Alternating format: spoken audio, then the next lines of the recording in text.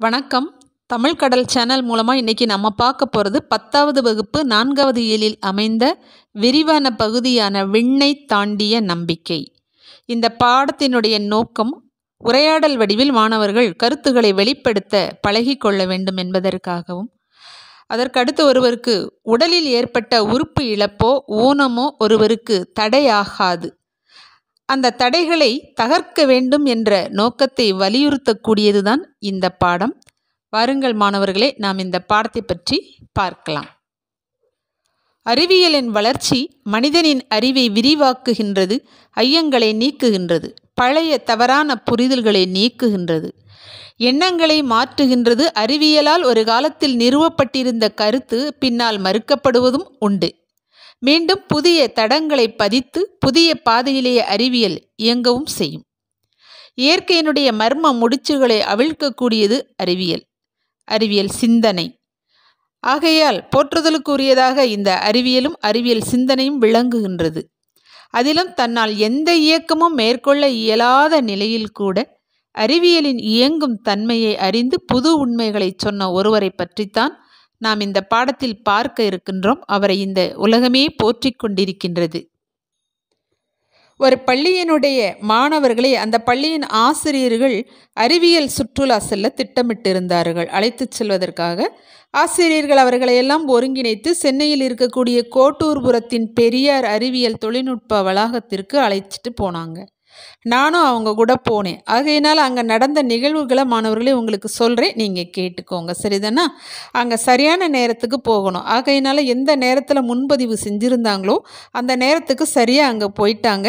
அங்கே போனோடனே அந்த தொழில்நுட்ப கழகத்தினுடைய இயக்குனர் எல்லாரையும் வரவேற்று அறிமுகம் செய்கிறாரு அதற்கு பிறகு அந்த பெரியார் அறிவியல் தொழில்நுட்ப கழகம் வந்து ஆயிரத்தி தொள்ளாயிரத்தி எண்பத்தி எட்டில் நிறுவப்பட்டது என்றும் அங்கே பத்து காட்சிக்கூடங்கள் இருப்பதாகவும் பரிமாண வளர்ச்சி பூங்கா புதிய புதுப்பிக்கத்தக்க ஆற்றல் பூங்கா என்றவற்றை அவர் எடுத்து கூறினார். எடுத்துக்காட்டுகளாக பொம்மைகள் கொண்ட பூங்காவும் இருப்பதாக அவர் கூறினார். உடனே ஒரு மாணவர் கோளரங்கம் பற்றி அவர் கேட்குறாரு. உடனே அதுக்கு இயக்குனர் சொல்கிறாரு இந்த கோளரங்கமானது முந்நூற்றி அறுபது பாகை அரைவட்ட வானத்திரை இங்கே மட்டும்தான் இருக்குது ஆகையினால இது இந்தியாவிலேயே ஒரு தனித்துவம் வாய்ந்த கோளரங்கம்னு சொல்லி இது ரெண்டாயிரத்தி ஒன்பதில் நிறுவப்பட்டதாக சொல்கிறாரு சொல்லி எல்லாரையும் கோளரங்கத்துக்குள்ளே அழைச்சிட்டு போய் உட்கார சொல்லி தானும் அங்கே அமர்ந்து கொள்கிறார். அங்கே அமர்ந்த உடனே அவர் அங்குள்ள இயந்திரங்களை இயக்குறாரு. இயக்கின உடனே அந்த செயற்கையாக அமைந்த அந்த விண்ணானது உண்மையான விண்வெளி போல் காட்சி தருகின்றது. அங்கே கோள்களினுடைய இயக்கம் குறித்தான காணொளி சிறிது நேரம் வந்தது. அதற்கு பிறகு அந்த காலம் குறித்தான விளக்கம் வர்றதுக்கு முன்னாடி சக்கர நாற்காலியில் அமர்ந்துள்ள ஒருவரின் படம் தெரிகின்றது. அதை பார்த்ததும் அரங்கம் முழுவதும் அப்படியே அமைதியானது. மாணவர்கள் நன்றாக பார்க்கின்றார்கள். அவரினுடைய தலை வலது பக்கம் சாய்ந்திருக்கிறது. கீழே இருக்கக்கூடிய சில பற்கள் மேல் உதட்டை அப்படியே அழுத்தி வெளியே வந்து நின்றிருக்கின்றது. அவர் கையில் ஒரு கணிப்பொறியோடு இருக்கின்றார். அவருடைய உடலின் எந்த பாகமும் அசைவற்று இருக்கின்றது வேலை செய்யவில்லை. அவரினுடைய கன்னத்தின் தசைகள் மட்டும் சிறிது அசைகின்றன. இதை பார்த்ததும் மாணவர்கள் ஆர்வம் பொங்க ஸ்டீஃபன் ஹாக்கின்ஸ் ஸ்டீஃபன் ஹாக்கின்ஸ் அப்படின்னு சொல்லிட்டே இருக்கிறாங்க. உடனே மாண இயக்குனர் சொல்கிறாரு ஆம் தற்காலத்தினுடைய ஐன்ஸ்டைன் என்று புகழப்படக்கூடியவர் இவர்தான். இவர் ஸ்டீஃபன் ஹாக்கின்ஸ் என்று அவரும் சொல்ல அதற்கு ஒரு மாணவன் ஹாக்கின்ஸ் ஏன் இவ்வாறு ஆனார்? அவருக்கு என்ன ஆனது? என்று ஒரு மாணவர் கேட்க அதற்கு இயக்குனர் பதில் சொல்லுகின்றார் இவ்வாறு. ஹாக்கின்ஸ்க்கு பக்கவாதம் என்று சொல்லக்கூடிய நரம்பு நோய் ஏற்பட்டது. ஆகையால் இங்கிலாந்தில் இருக்கக்கூடிய ஒரு பெரிய மருத்துவமனை ஒன்றில் ஆயிரத்து தொள்ளாயிரத்து அறுபத்தி மூன்றாம் ஆண்டு அவர் அனுமதிக்கப்பட்டார். அப்போது அவருக்கு வயது இருபத்தி ஒன்று.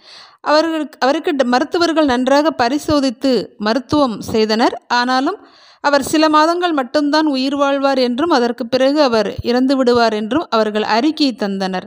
ஆனால் அந்த மருத்துவ உலகம் மட்டுமல்ல மொத்த உலகமும் கூட மிரண்டு போகும் அளவுக்கு வியந்து போகும் அளவுக்கு அவர் மேலும் ஐம்பத்தி மூன்று ஆண்டுகள் அவர் உயிர் வாழ்ந்தார் இயங்கினார். அதாவது கிட்டத்தட்ட எழுபத்தி நான்கு ஆண்டுகள் அவர் உயிர் வாழ்ந்திருக்கின்றார். இதற்கிடையில் அவருக்கு ஒரு நாற்பத்தி மூன்று வயது ஆகும்போது அதாவது ஆயிரத்தி தொள்ளாயிரத்தி எண்பத்தி ஐந்தில் அவருக்கு மூச்சு குழாய் தடங்கள் மீண்டும் வந்தது. அப்போது அவர் பேசும் திறனையும் அவர் இழந்து விட்டார். அது மட்டுமல்லாமல் அவர் கண்ண தசையினுடைய அசைவு மற்றும் கண் சிமிட்டுதல் மூலம் மட்டும்தான் அவருடைய இயக்கமாக இருந்தது. மற்ற உறுப்புகள் அவருக்கு வேலை செய்யலை.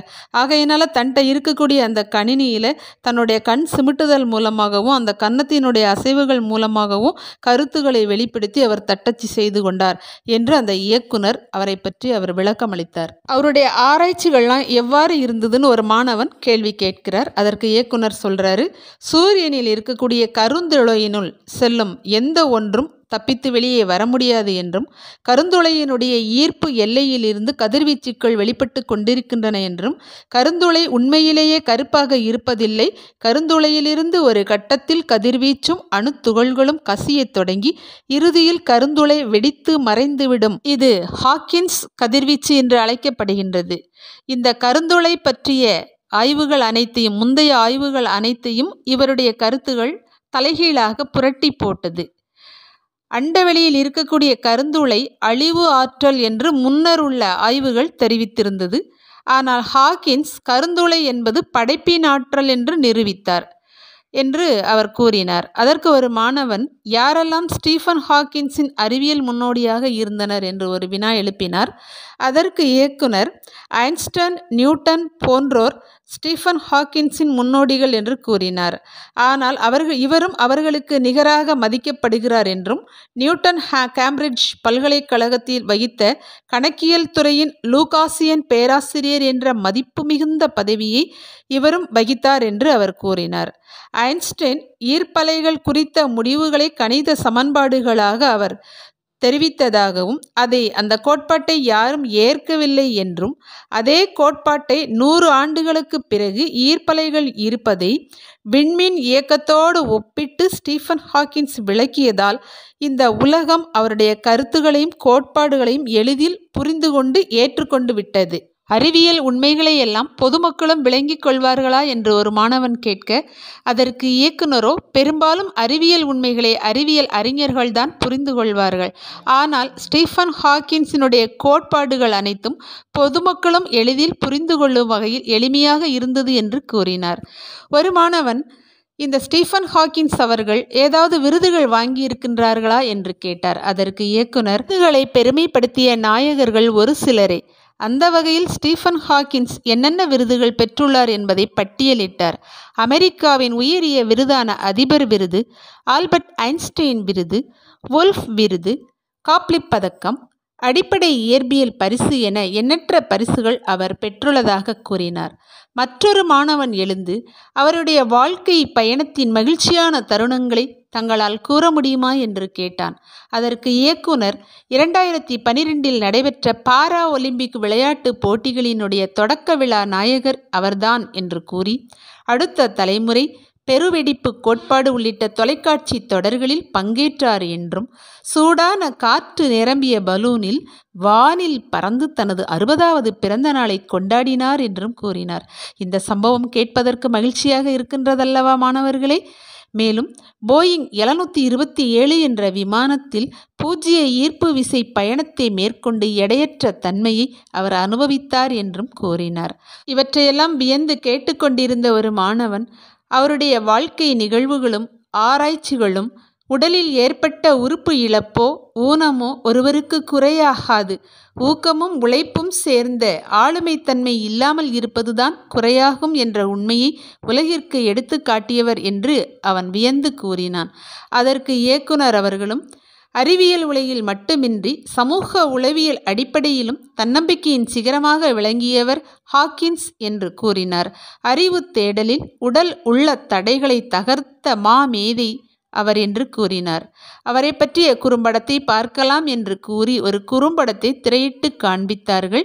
மாணவர்களே நீங்களும் குறும்படம் பார்க்க ஆவலாக இருந்தால் வலைத்தளத்தில் நீங்கள் சென்று பார்க்கலாம். ஹாக்கின்ஸ் கலீலியோவின் நினைவு நாளில் பிறந்து ஐன்ஸ்டைனின் இற பிறந்த நாளில் இறந்தது அறிவியலை பொறுத்தவரை ஒரு தற்செயல் நிகழ்வாக இருக்கலாமானால் அந்த தற்செயலிலும் ஓர் ஒற்றுமை இருக்கின்றது. இம்மூன்று அறிவியலாளர்களும் அவரவர் காலத்தில் இந்த பேரண்டத்தை பற்றி இருந்த புரிதலை பல மடங்கு வளர்த்தவர்கள். பேரண்டத்தை பற்றி மனித இனம் நம்பியதை புரட்டி போட்டவர்கள். ஹாக்கின்ஸினுடைய துணிச்சல் உறுதி அறிவாற்றல் நகைச்சுவை உணர்வு முதலானவை உலக மக்களால் என்றும் நினைவு கூறப்படும். தெரிந்து தெளிவோம் என்ற பகுதியில் நமது பால்வீதியில் கோடிக்கணக்கான விண்மீன்கள் ஒளிர்கின்றன. அவற்றுள் நம் ஞாயிறும் ஒன்று அதாவது சூரியனும் ஒன்று. ஒரு விண்மீனினுடைய ஆயுள் கால முடிவில் உள்நோக்கிய ஈர்ப்பு விசை கூடுகின்றது. அதனால் விண்மீன் சுருங்கத் தொடங்கும். விண்மீன் சுருங்க சுருங்க அதன் ஈர்ப்பாற்றல் உயர்ந்து கொண்டே சென்று அளவற்றதாகும்.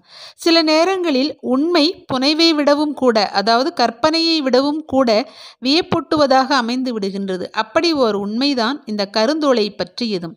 புனைவு இலக்கியம் படைப்பவர்களது கற்பனைகளை எல்லாம் மிஞ்சுவதாகவே இந்த கருந்தோலைகள் பற்றிய உண்மைகள் உள்ளன. அதனை அறிவியல் உலகமே மிக மெதுவாகவே புரிந்து கொள்ள முயல்கின்றது என்று கூறுகின்றார் ஸ்டீஃபன் ஹாக்கின்ஸ். அமெரிக்க அறிவியலாளர் ஜான் வீலர் என்பவர்தாம் கருந்துளை என்ற சொல்லையும் கோட்பாட்டையும் முதலில் குறிப்பிட்டவர்.